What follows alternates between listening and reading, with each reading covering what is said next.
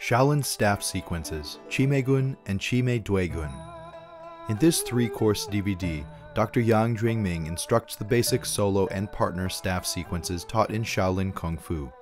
In Course 1, staff fundamental practices are taught. In Course 2, the solo Chime staff sequence is taught, with martial applications. In Course 3, the Qi Mei Dui staff sequence is taught for partner matching practice with martial applications. The DVD offers advanced navigation so that you may find any part of the program with just a couple clicks and pick up where you left off. Staff training is considered the root of all long weapons training, and it is traditionally the first weapon taught in Shaolin Kung Fu.